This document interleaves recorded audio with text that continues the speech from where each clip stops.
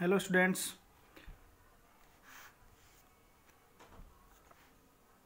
Estimation की second class में आपका स्वागत है।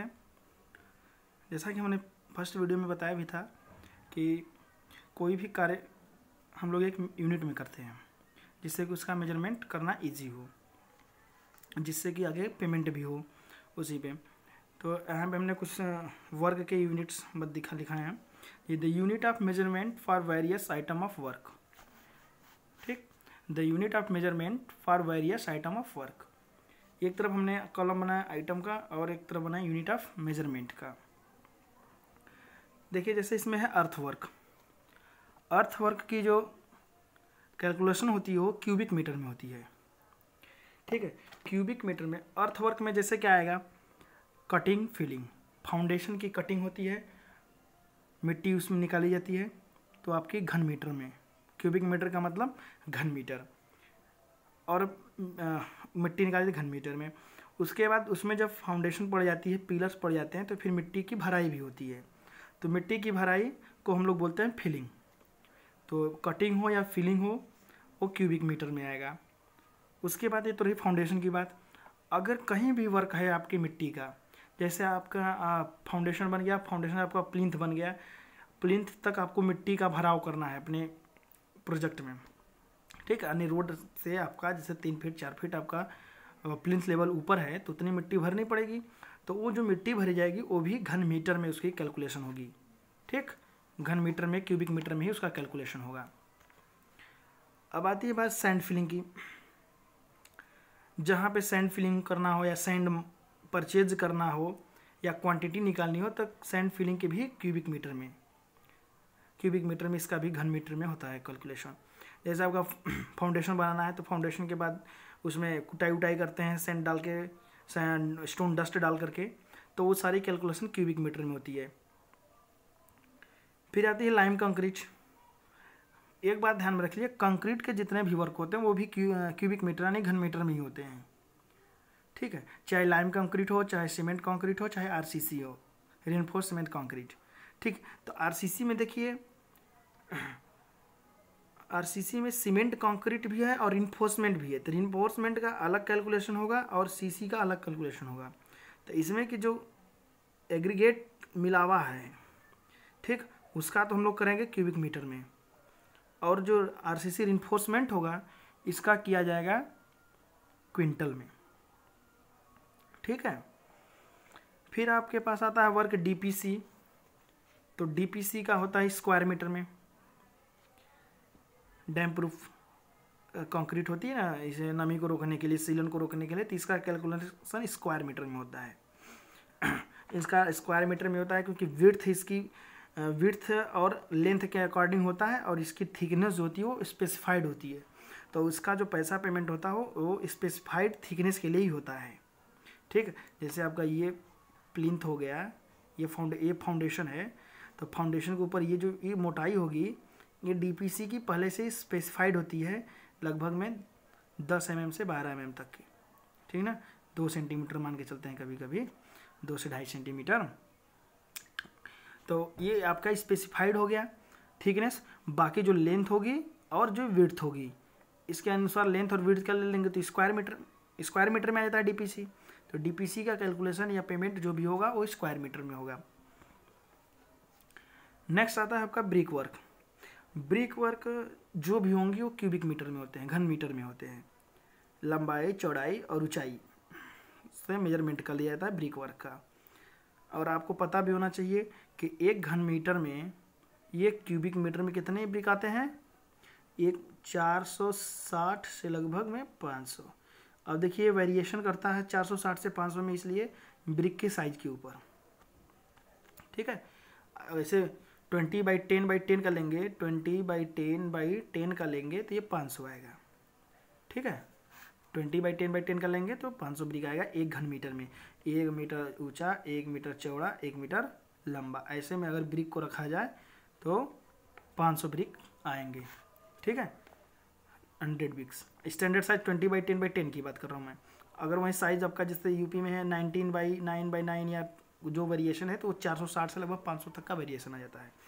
ब्रिक तो ब्रिक वर्क के कैलकुलेशन होंगे किसमें? क्यूबिक मीटर में। अब रहती है बात पार्टीशन वाल की। पार्टीशन वाल तो पार्टीशन वाल क्या होता है? एक हाफ़ ब्रिक का ये दीवार बनता है। आधे आधे का क्या? वो भी जो चौड़ाई होता है ना, उसके अकॉर्डिंग तो इसका हम लोग वो स्पेसिफाइड हो जाता है कि उसका थिकनेस इतना ही है तो इसका स्क्वायर मीटर में कैलकुलेशन कर लेते हैं। ये जो पार्टीशन वाल है, ये केवल ये लोड बियरिंग वाल नहीं होती है नॉन लोड बियरिंग वाल होती है। इस पर बाहर कोई नहीं आता, केवल क्षेत्र को डिवाइड करने के लिए पार्टीशन वाल लगाया जाता है। तो इसका कैलकुलेशन स्क्वायर मीटर में कर देते हैं, क्योंकि इसकी थिकनेस कम हो जाती है। फिर आता है स्टोन वर्क ये भी स्टोन वर्क भी क्यूबिक मीटर में होता है। स्टोन वर्क देखिए, जैसे आपका फाउंडेशन बनता है तो वहाँ पे स्टोन वर्क होता है फाउंडेशन में कॉर्नर किनारे किनारे मिट्टी को रोकने के लिए या फिर उसके ऊपर प्लिंथ डालने के लिए स्टोन वर्क किया जाता है। ठीक है? स्टोन वर्क और भी छतों में भी हो जाता है कभी कभी सनसेट के लिए भी हो जाता है और आर्चेस बनाने के लिए काम भी आता है। ठीक है? तो आपका ये स्टोन वर्क क्यूबिक मीटर में, इसका भी घन मीटर में कैलकुलेशन होती है। अब आता है आपका वुड वर्क अब आपको बताता हूँ वुड वर्क यानी लकड़ी के कार्य होते हैं जो बिल्डिंग्स में जनरली लकड़ी के कार्य जो होते हैं, डोर बनाना, विंडो बनाना। अब डोर विंडो में दो पार्ट होते हैं, एक आपका फ्रेम बनाना, यानी चौखट जिसे बोलते हैं। तो उसका कैलकुलेशन डोर विंडो के फ्रेम का, वो कैलकुलेशन होती है, वो होती है क्यूबिक मीटर में, घन मीटर में। और जो पैनल होते हैं फ्रेम के बीच में जो पैनल होते हैं, जो इनकी थिकनेस लगभग में डेढ़ से दो एम एम तीन एम एम तक होती है, उसका जो कैलकुलेशन करते हैं हम लोग स्क्वायर मीटर में करते हैं, वर्ग मीटर में। लेकिन फ्रेम जो होते हैं डोर विंडो के, उनका क्यूबिक मीटर में करेंगे। स्टील वर्क, वहीं आरसीसी में जो यूज़ हो रहा है, ठीक है? बार्स जो होते हैं इन्फोर्समेंट वो स्टील वर्क जो होंगे, उनका कैलकुलेशन क्विंटल में होता है, उनकी गणना कैलकुलेशन क्विंटल में करेंगे हम लोग। चाहे जैसे आपका स्टील वर्क ये हो, भी हो गया इन्फोर्समेंट में भी, और उसके बाद रेलिंग को का भी जो वर्क हो गया, ठीक, वो रेलिंग वर्क अगर आयरन से हो रहा है, ठीक है तो वो क्विंटल में होगा। लेकिन अगर आपका वो स्टील से हो रहा है फैंसी स्टील से तो उसका पर रनिंग मीटर में होता है उसका कैलकुलेशन पर पर रनिंग मीटर में उसकी कैलकुलेशन गणना करते हैं। फिर बचता है आपका रूफिंग रूफिंग में जैसे टाइल्स लगाना है कंक्रीट बिछाना है तो रूफिंग का हम लोग स्क्वायर मीटर में कैलकुलेशन की जाती है। टाइल्स वाइल्स मार्बल जो लगाने होते हैं स्क्वायर मीटर में। प्लास्टरिंग प्लास्टरिंग का कार्य भी स्क्वायर मीटर में होता है। इसका भी आपका twelve ten M M to ten M M to twelve M M. इसका भी थिकनेस फिक्स होता है प्लास्टर का। Ten M M to twelve M M thickness इसकी भी फिक्स होती है। तो और इसलिए इसका प्लास और प्लास्टरिंग भी स्क्वायर मीटर में की जाती है, लंबाई और चौड़ाई से। थिकनेस नहीं ली जाती है। पेंटिंग भी स्क्वायर मीटर में। पॉइंटिंग पॉइंटिंग भी पॉइंटिंग सॉरी पॉइंटिंग भी स्क्वायर मीटर में। पॉइंटिंग का मतलब ये है जैसे कहीं पे प्लास्टर टूट जाता है ठीक है? तो वहाँ पे जो रिपेयरिंग काम होता है वो पॉइंटिंग का उसे बोलते हैं। जहाँ पे स्लरी से बना करके उसका पॉइंटिंग किया जाता है या फिर आ, क्या कहते हैं कि प्लास्टर के ऊपर देखोगे चिकना चिकना जो सीमेंट का गारा बना करके मारते हैं जिसे दोगा भी बोलते हैं वो पॉइंटिंग आपका स्क्वायर मीटर में भी होता है। White washing putty white washing putty या जो भी ये वर्क होगा स्क्वायर मीटर में होगा। डिस्टेम्परिंग पेंटिंग भी स्क्वायर मीटर में होगी। फ्लोरिंग जो नीचे का फ्लोर बनता है, वो भी आपका स्क्वायर मीटर में इन सब की कैलकुलेशंस होती हैं।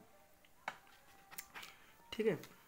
अब उसके बाद जो बचता है, ये तो जनरली आपको बिल्डिंग्स के वर्क हो गए। ठीक है? अब यही जैसे अब हाईवे का है तो हाईवे में डामर हो गया तो पर ड्रम या पर टन में आता है। है ना? और भी वेरियस जो भी है, उनका अलग आता है, जैसे सप्लाई करने का, जैसे हो गया। Supply of timber supply of brick ballast supply of stone तो ये सब क्यूबिक मीटर में, घन मीटर में क्विंटल में, यही सब होते हैं। तो जनरली जितने भी आपके वर्क वाले हैं, इतना तो हमने यहाँ पे बता दिया है। उसके बाद डिडक्शन के लिए हमें डोर जैसे जो हम वर्क करते हैं तो डिडक्शन करना होगा। डिडक्शन करना होगा हमें। तो डिडक्शन जो भी होगा, किसका डिडक्शन किसका होता है? डोर का होता है,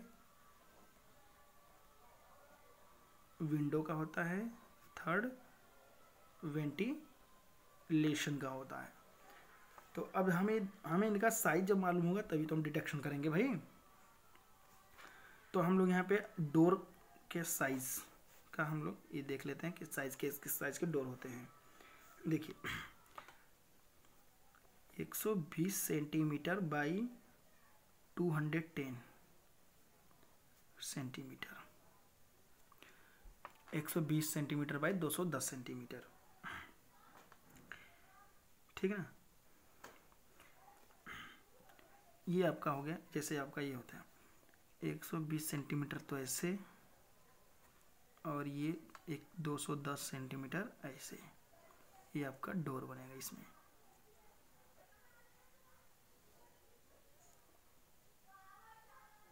ठीक है ना? ये आपका हाइट जो हो गया 210 सेंटीमीटर और ये चौड़ाई जो हो गई, ये हो जाएगी 120 सेंटीमीटर। तो ये आपका हो गया मेन इसके बाद डोर का साइज़ ये पहला हो गया। दूसरा डोर साइज़ होता है आपका 110 सेंटीमीटर बाई 200 सेंटीमीटर।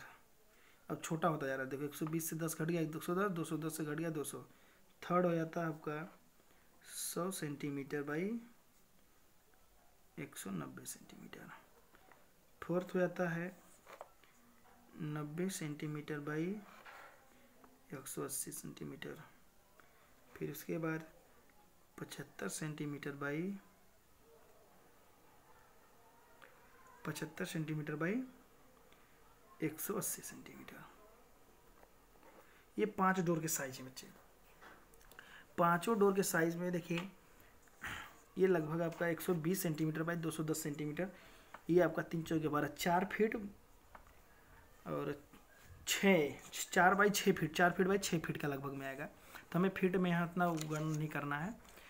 तो ये आएगा आपका बड़े डोर के लिए। उसके बाद उससे छोटे डोर के लिए फिर तो जैसा हमारा मेन डोर हो गया तो इतना रखेंगे। फिर रूम के डोर हो गए तीन साइज़ में रखेंगे।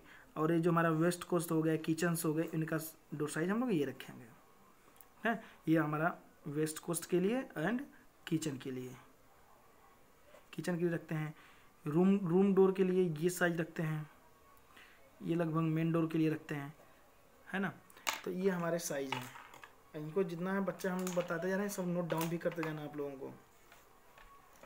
ठीक है ना? अब मैं बता देता हूँ साइज़ विंडो की बात करते हैं।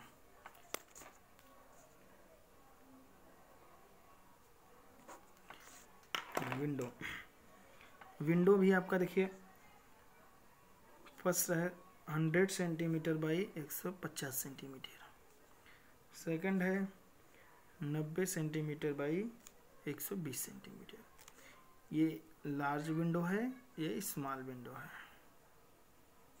ठीक है? तो ये अब दो साइज़ हो गए विंडो के। फिर आता है आपका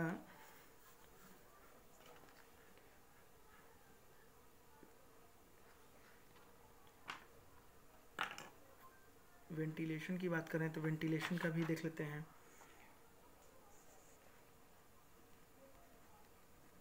जहाँ भी बच्चों ने समझ में आए कमेंट बॉक्स में लिख दीजिएगा।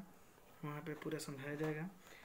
वेंटिलेशन के लिए जो छोड़ा जाता है, वो छोड़ा जाता है 120 सेंटीमीटर बाई 60 सेंटीमीटर। सेकंड है आपका 100 सेंटीमीटर बाई 60 सेंटीमीटर। ये हाइट जो है 60 सेंटीमीटर से ज़्यादा नहीं रखना है, या फिर 90 सेंटीमीटर बाई 50 सेंटीमीटर। ये छोटा वाला हो गया। ये 60 सेंटीमीटर ज़्यादा नहीं रखना, क्योंकि इसका फिर ज़्यादा हाइट हो जाता है। दिक्कत होती है। ये चौड़ाई जो है दरवाजे के लगभग बराबर रखते हैं। दरवाजे या खिड़की के बराबर, एक सौ बीस सौ नब्बे, ठीक उन्हीं के बराबर में रखा जाता है। अब हो गई। अब हम कुछ स्टैंडर्ड थिकनेस विकनेस बता देते हैं। नोट डाउन करके लिखते चलिएगा सब चीज़।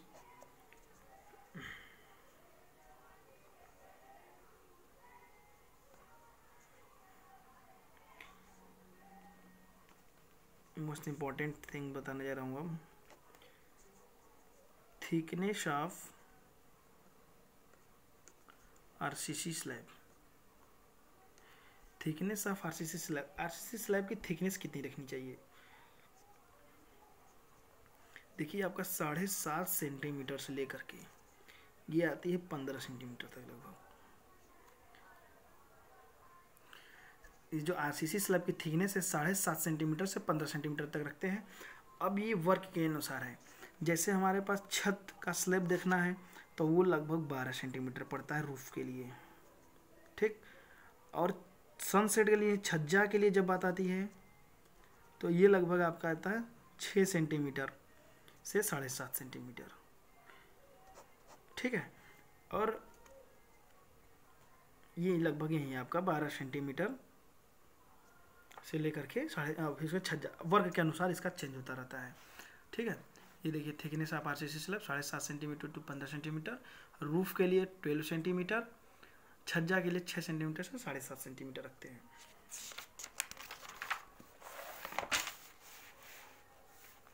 अब देखिए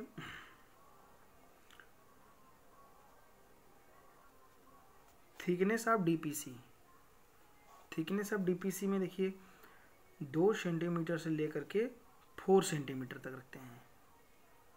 डीपीसी दो सेंटीमीटर से लेकर के फोर सेंटीमीटर तक रखते हैं। फिर आती है बात थिकनेस ऑफ़ प्लास्टर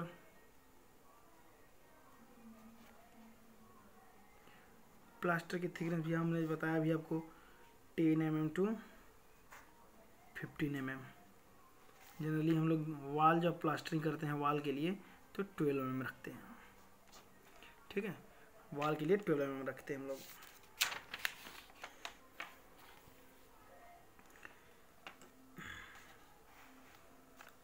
अब एक चीज़ आती है height of plinth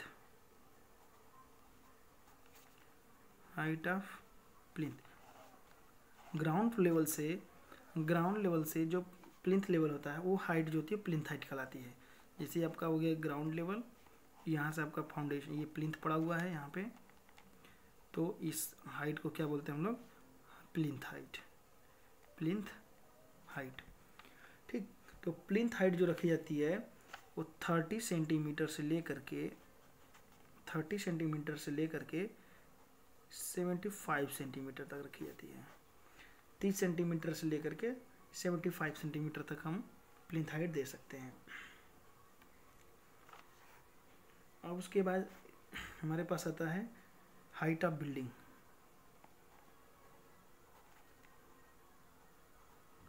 बिल्डिंग की हाइट कितनी देते हैं?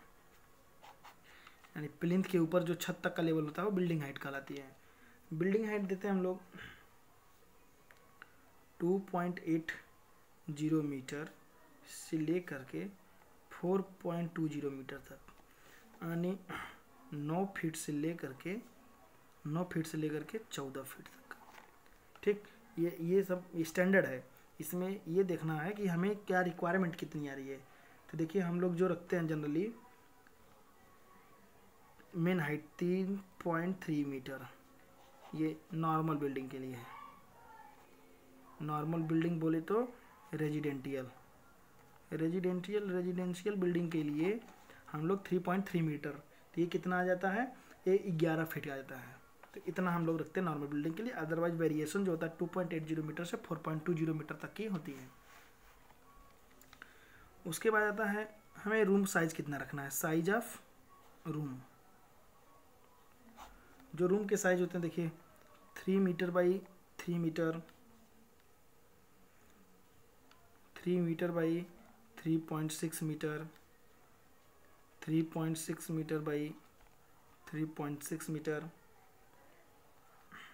three point six metre by four point two metre three point six metre by four point eight metre ये आपके नॉर्मल साइज़ हैं, बाकी वेरिएशन तो करता है, अपने आप होता ही रहता है स्टैंडर्ड साइज़ है, कि रूम कितने साइज़ होने चाहिए। अब नेक्स्ट आती है स्टेयर स्टेयर को आप देखे होंगे। स्टेयर में देखिए, तीन, चार टर्म होते हैं थोड़ा सा। देखिए, ऐसे फिर ऐसे फिर ऐसे फिर ऐसे फिर ऐसे। ठीक? तो जो ये चीज़ होती है, इसको बोलते हैं हम लोग ट्रेड इसको बोलते हैं हम लोग ट्रेड ये जो हाइट है, ये हाइट को हम लोग क्या बोलते हैं? राइज ठीक है ना? ये जो ऊंचाई है, इसको बोलते हैं राइज और ये जो चौड़ाई है, इस पर लिखते हैं हम लोग ट्रेड और ये नंबर ऑफ़ स्टेप है। तो जो राइज है रखते हैं हम लोग राइज पंद्रह सेंटीमीटर से लेकर के वो अट्ठारह सेंटीमीटर तक, पंद्रह सेंटीमीटर से लेकर के अट्ठारह सेंटीमीटर तक रखा जाता है। और जो ट्रेड है, जो ट्रेड है, वो रखा जाता है, जो ट्रेड है वो रखा जाता है आपका अट्ठाईस सेंटीमीटर से तीस centimetre.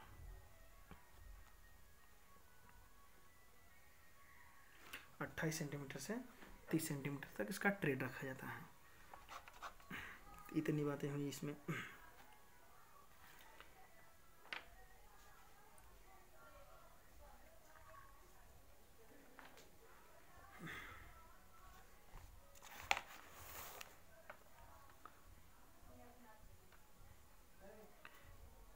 BRICS standard size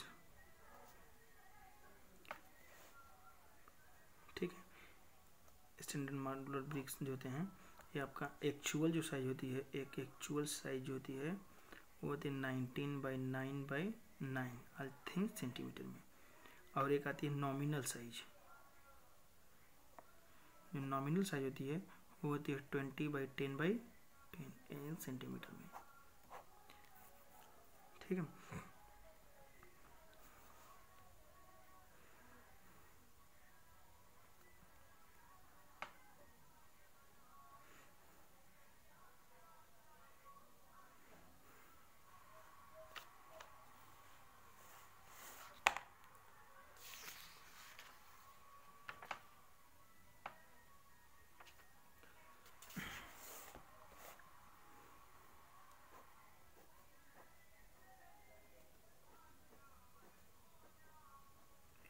brick होती है भैया आपकी? ये आपका ये होता है। जहाँ पे कंपनी का नाम होता है, थोड़ा सा धसा होता पोर्सन होता है तो इसको हम लोग बोलते हैं फ्रॉग ये वाला पोर्सन आपका नाइन ये वाला भी पोर्सन आपका नाइन सेंटीमीटर और ये वाला जो लेंथ वाला पोर्सन है, ये नाइनटीन सेंटीमीटर ये आपका मॉडुलर ब्रिक का क्या डायमेंशन है? जो फ्रॉक का साइज़ होता है, ये जो छोड़ा जाता है इसे लगभग आपका छोड़ा जाता है ये। ये आपका होता है छः सेंटीमीटर और इधर से होता है फोर सेंटीमीटर। यानी जो फ्रॉक का साइज़ होता है ठीक, जिसमें कंपनी के नेम लिखे जाते हैं, वो छः सेंटीमीटर बाई फोर सेंटीमीटर में लिखे जाते हैं।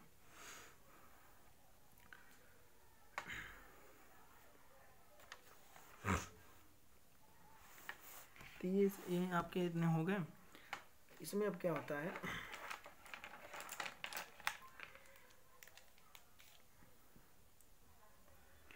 लेकिन ये तो हमारा हो गया स्टैंडर्ड बच्चे स्टैंडर्ड साइज़ लेकिन जो हमारा यूपी में जो हमारे पास ये ब्रिक आती हैं ठीक इनका कुछ साइज़ देखिए क्या आते हैं।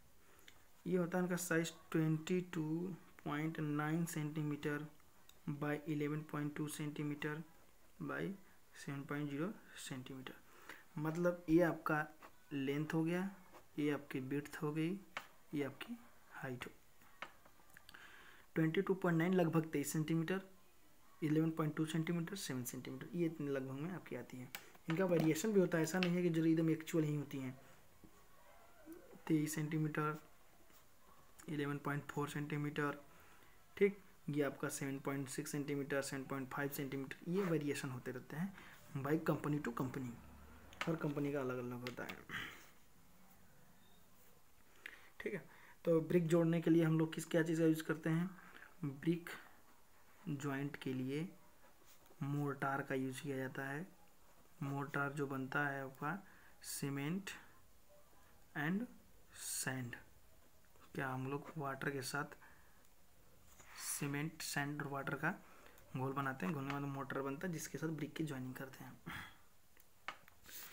ठीक है? तो जितने हमें बताने थे भैया यूनिट प्लस इनके ट्रेडिशनल साइज़ ठीक ब्रिक साइज़ ये हमने आज ये डिस्कस किया इस वीडियो में। एक बार फिर से इसको यहाँ पे देख लीजिए।